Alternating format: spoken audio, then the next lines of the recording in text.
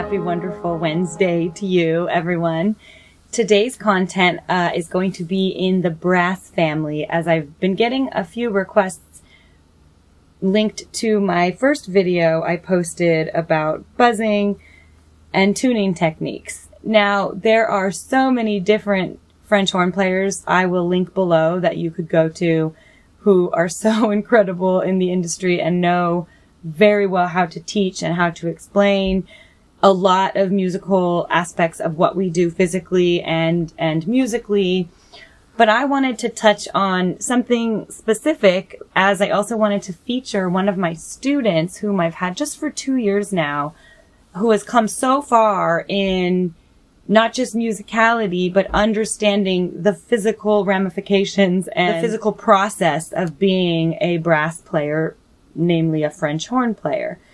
Now, we don't just walk up to an instrument and start playing it and sounding great at it. As you know, everyone works many years and trains themselves to become professional to a certain level. And getting there again, as I've spoken, is, is all in ladders. But a lot of what we do makes so much sense when we do it correctly.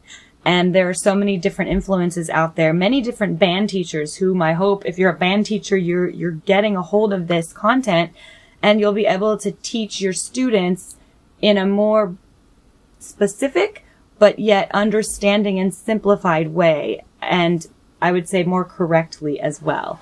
Because I know sometimes it's, it's a challenge as a music education major goes to school they learn how to teach band and they learn a little bit about every instrument in that ensemble, which is just incredible that they're even able to do that. But when you are a specialized professional in that, you know, field, a lot of times schools will bring in those musicians, whether it be a brass quintet, a woodwind quintet, a smaller ensemble, a string quartet, depending on what they're trying to teach their students. But getting into it, I wanted to talk about your embouchure um, and aperture, which I got into a little bit in in my last video about the buzzing techniques. But more specifically, centering your mouthpiece and having the correct placement of where our our lips meet the mouthpiece. Now, everyone is is unique as embouchures are all different shapes and sizes, and our lips are all different sizes. So we have some people have a small upper lip and a large bottom lip, vice versa, or big lips, or very small, tiny lips. Um, no matter what you do, it doesn't stem from your lips. And that's something that it's more challenging sometimes, perhaps, for someone with bigger lips to play an instrument that has perhaps a smaller mouthpiece. Um, now, as I'm a French horn player, I don't have a trumpet mouthpiece and a trombone mouthpiece and a tuba mouthpiece to compare it. But of all of the mouthpieces, French horn is, is kind of the most petite and small one. The trumpet has a, a less deep cup and a little bit of a thicker rim. And then the tr- trombone has a much wider cup as well as a much thicker rim and more, more metal and a, you can imagine a tuba mouthpiece is something not quite as big as this, this flower back here. But they, they get bigger in size. And so if you're a person, man or woman, boy or girl with bigger lips, a lot of times your band director may think, oh my gosh, you need to play the tuba or you need to play the bass trombone. And as much as that's probably fairly well suggested, not everyone you know, with big lips plays those brass instruments. There's many incredible players I know with beautiful lips, big lips that play the French horn incredibly. And I think it, you know, depends on your teacher and who you study with and how you learn technique. But if I can just offer you a couple of pointers, I want to, aside from featuring my student, I want to give you just a couple little pointers to try and help you make more sense of what you're going for and thinking about it a little bit less. So we have these, these two lips. They're all different sizes and shapes for each person. We have this piece. all we do is, is try and, as the best we can, is place it into the center, right?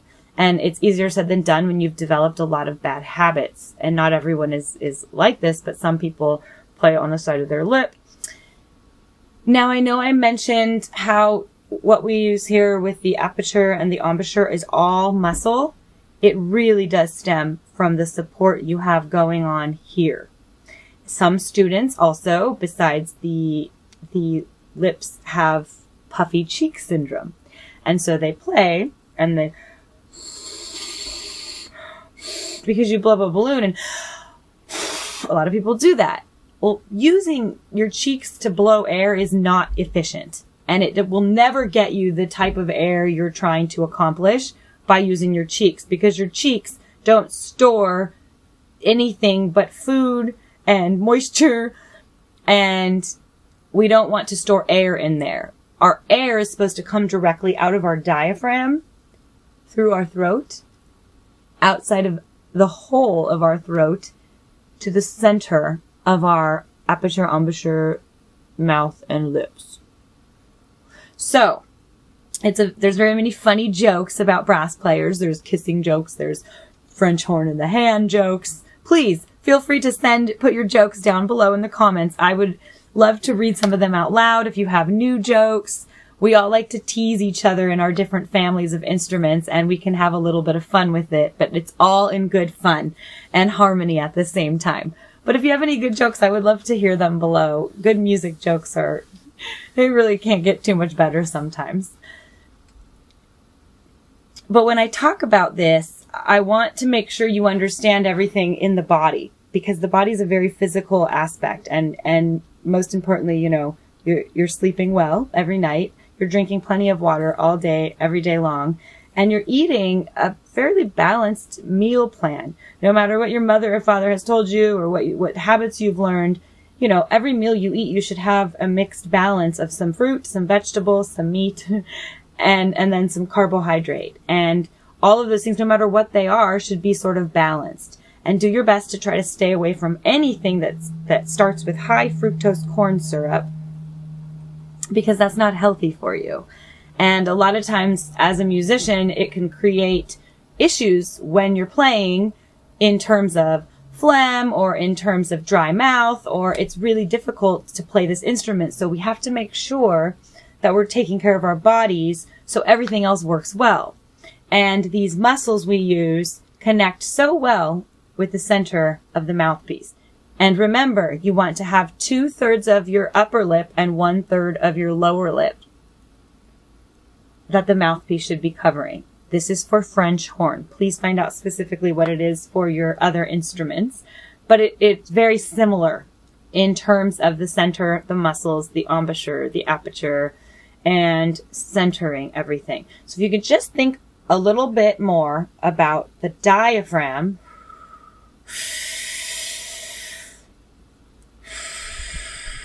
coming out exactly as a mirroring center. You want to aim everything towards the middle of the screen, the middle of the wall. You want to find a circle or a hole to focus that sound on so it's all coming out evenly.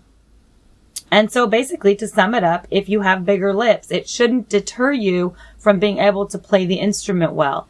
You just have to do it in such a way that's a little bit more careful. Work on your buzzing, work on stabilizing and strengthening these muscles, and just use your air to naturally let that buzz come out of the instrument. But don't let the big lips deter you. Make sure you're looking in the mirror. If you're playing here, it takes time to fix an embouchure change. And now I'll have you watch a little bit of my student in the last two years where he's come.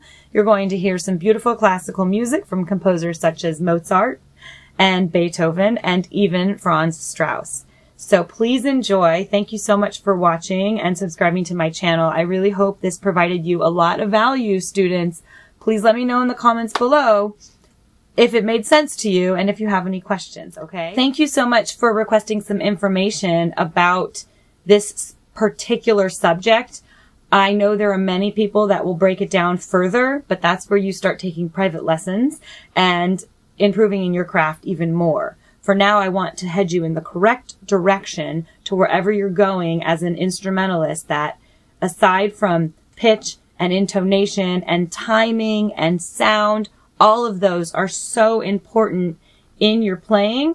It stems from the stability, the muscle strength, the relaxation, and the focus. And so you want as centered as you can be.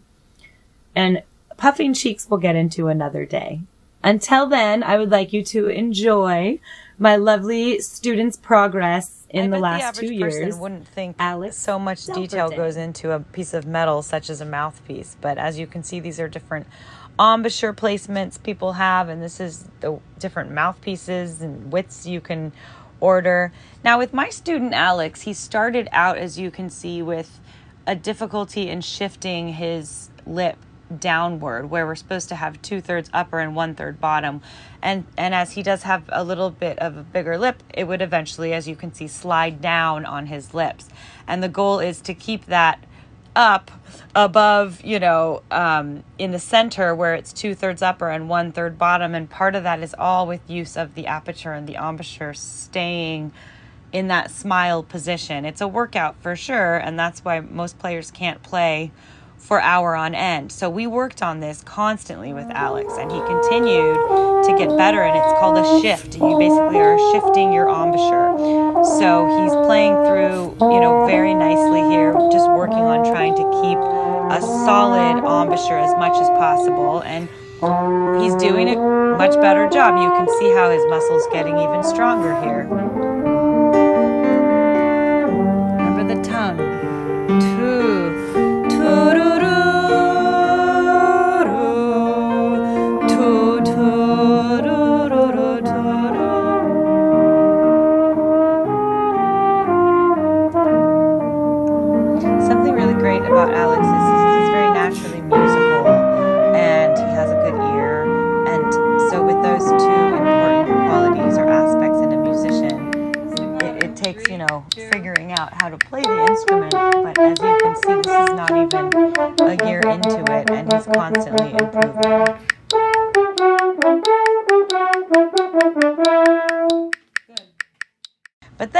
Discovers the most incredible book, which is called College Prep for Musicians, and went to his first NAMM show. And of course, after the first year of school with his studio, I took them all out to a nice little meal that we could share together to celebrate the end of their semester. And once once we got in, you know, into finishing the semester and summer started, he continued to work and we started the next semester and he had a much more solid embouchure. From day one, you can see how much um, more, you know, centered it is where he's using more of the upper upper lip now and he's still working on it. Now, Alex has also developed a couple of little habits of the flapping fingers, which some of you may or may not have had, but he's constantly getting better and better at it every day. And something very interesting about Alex's playing is he's also using a school instrument that many of you you know know far too much about. In the, these videos, he is playing with a school French horn, so you hear some clicking, and we had to take the instrument in to get it, you know, fixed and, and make it work better. But it's not his own personal instrument that many professionals have. So you start out, you know, sometimes on an instrument that may not be your own because you don't know if someone's going to continue on it, but then they really want to invest in in their own personal instrument. Once the semester started back up, we were gung ho, and then, of course, everything went, as you can see, online. So we were forced to kind of, I think, take our lessons a little bit differently, and somehow I believe that helped Alex focus a little bit more. As you can hear, this is some of his practice sessions, and and then I'll finish with some highlights of, of his recent jury performances for, for college.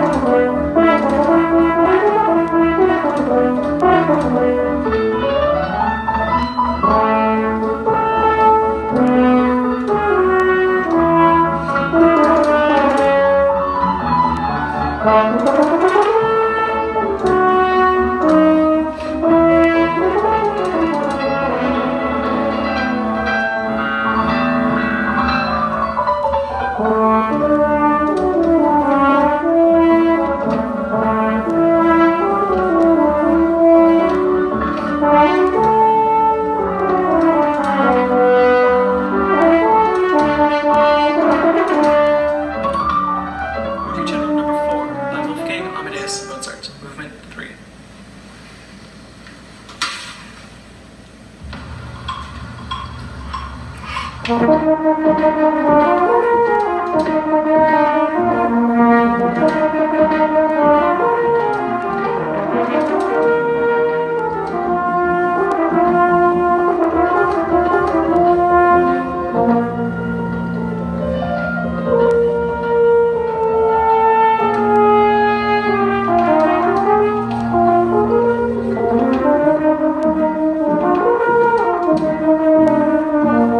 Today